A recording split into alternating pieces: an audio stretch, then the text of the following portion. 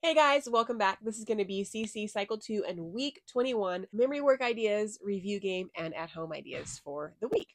For math this week, we are learning the associative law, and so we sing that for the same tune of Do Lord, Oh Do Lord, Oh Do Remember Me for both addition and for multiplication. And so together it sounds like this.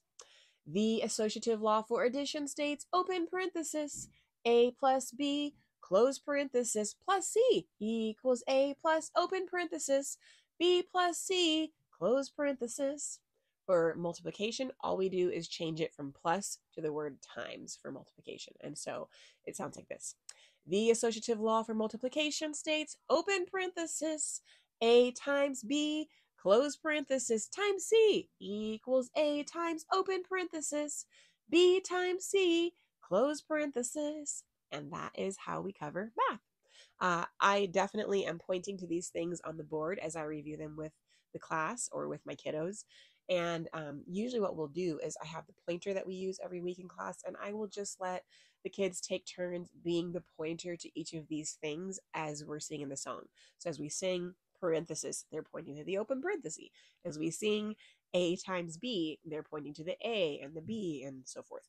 And that's how we cover math. All right.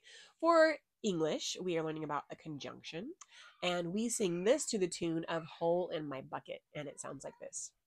A conjunction is a word used to connect words, phrases, or clauses together.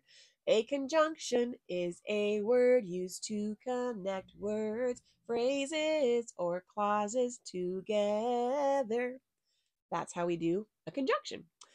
All right, for history, we are singing about the end of the Cold War. And so the tune that CC provides for this song is like a total 80s dance kind of vibe. And so we just add a few little motions and when we listen to the song and introduce it, of course, read it through, have the kids repeat after you so that everybody becomes familiar with it.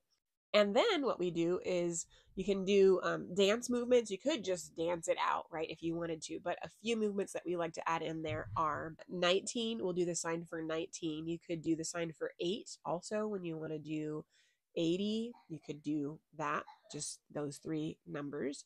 Uh, then when we say British Prime Minister Margaret Thatcher, you could do an M for Margaret Thatcher. So just take your first three fingers and bring it down over your thumb for Margaret Thatcher. When we say that part, you can just move your hands like this. Then we get to American president. We'll do an R. You could do the sign for president if you want to dance that out. And American president, you could do that. And then when you say Ronald Reagan, we're going to do R's. So Ronald Reagan. We're just going to move it across our bodies a little bit as we dance just like we do the M. So Margaret Thatcher, Ronald Reagan.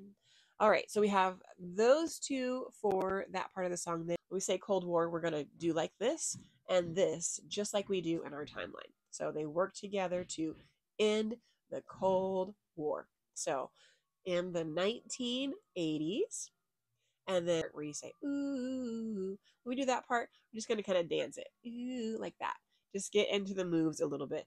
As much fun as we make it, is as much fun as the kids are going to have it. So if we make it exciting and move and get kind of fun with it, then they will be encouraged to do that too. So just kind of feel the beat, ooh, and then um, when it says Margaret Thatcher, then it says Ronald Reagan.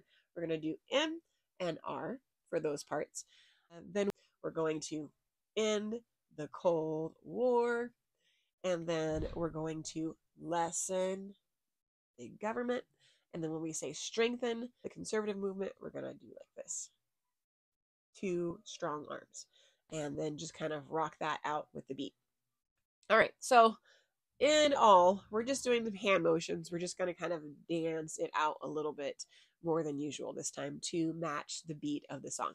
All right, for Latin, we are going back to our first conjugation endings in pluperfect tense. And so we bring out our ram again to remind us, our blue ram, to remind us that this is pluperfect tense. And the first sound in pluperfect tense is aram. And so that the ram is to remind us of that first song. So we will, uh, I'll probably draw a ram on the board or just post this up. And then we will pass this around or take turns holding this and presenting this as we sing out our pluperfect endings.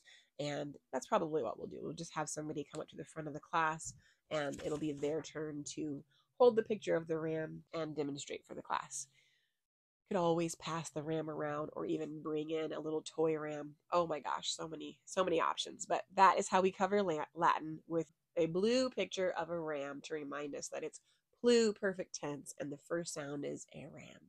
For timeline, we have World War II. So we do WW2 and President Franklin, F for Franklin, then D for D and R for Roosevelt. So World War II and President Franklin D. Roosevelt. Then we have Stalin of the USSR and the Katyn massacre. So we're going to do the sign that we've done in the past for Stalin is our the mustache. So Stalin of the USSR. For the Katyn massacre, we're going to do the sign for kill. Um, and that is to put your hand like this and point under that because that was a time when uh, masses of people were killed. All right, the next one is the United Nations formed, and for that we take our two first fingers and bring them together to show the sign for united. And we're just going to go like that for United Nations formed. Then we have the Cold War, which is what we're singing about in our history song. So when we say Cold War, we just shiver like it's cold and we do the sign for war. Next, we have Gandhi and India's independence. So we're going to do a G G for Gandhi, and then India's independence. So this is the sign for independence or freedom, right? Okay, and then we have the Jewish state. So the sign for Jewish is to grab your beard like you're a wise man. Okay, Jewish state established. So you're going to do the S for state and then do here and here for established. And then next we have Mao and the communist victory in China. So for that, we're going to do an M for Mao, Mao, and the communists. Put up your hand again. That's the sign that we use for communist victory, in China. China, we um, show, move our hands as though we're touching the buttons on a Chinese coat. So button here, here, and down at our waist. And that is what we'll do for our timeline hand motions for this week. For Central America, we are learning about Guatemala, Belize, El Salvador, Honduras, and Nicaragua. And we are going to sing this to the tune of Hey Macarena, aye.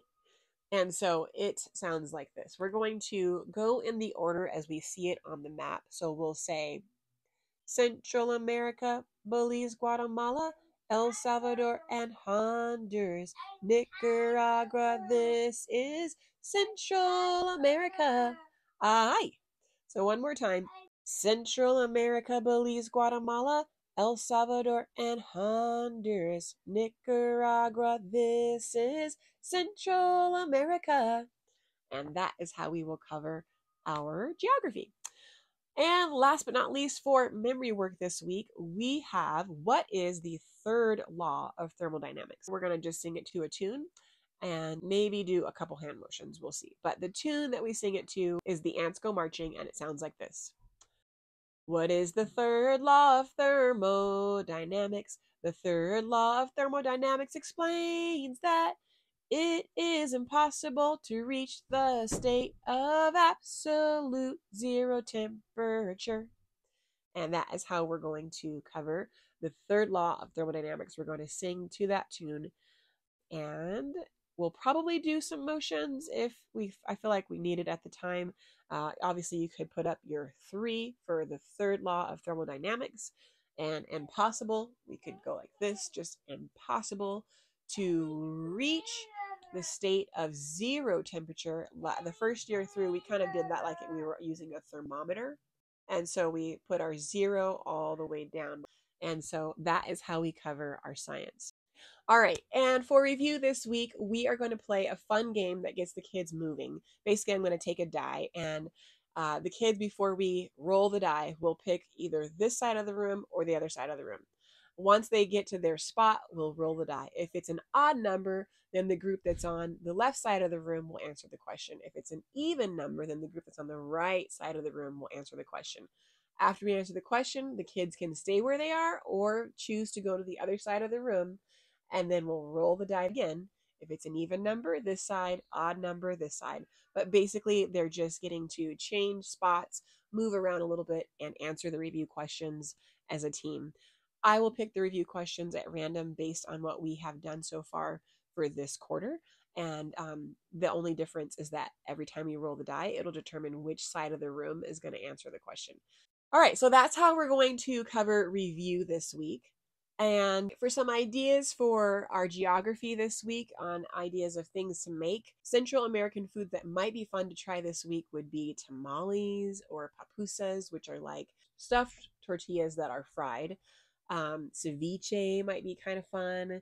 We love ceviche in our house, but ceviche is probably more tied to Peru or originating there. That's kind of like the authentic, but it's also eaten in Central America as well. So those are just some fun ideas for eating. And then if you're doing devotions uh, indescribable this year, the one that you might want to look into that ties into our science this week is page 196 What Scientists Don't Know. And then also page 18, it's about cells and building blocks. And so that might be another really good one to check out for our indescribable devotions this week. And then you could read about where is the Eiffel Tower. We're doing uh, tower constructions this week. So studying and learning about the Eiffel Tower could be very interesting and applicable since it's related to our studies in Europe, but also um, building a tower. That would be a great thing to check out. And then if you're looking for a fun movie this week with your family, on our movie list for cycle two, Apollo 13 is one that came up having to do with the third law of thermodynamics. So uh, that might be a fun suggestion for those of you with older kiddos who think that might be fitting for your family. And I think that is everything for this week. I hope that you guys have a fantastic week 21, and I look forward to seeing you again next week for week 22. Bye.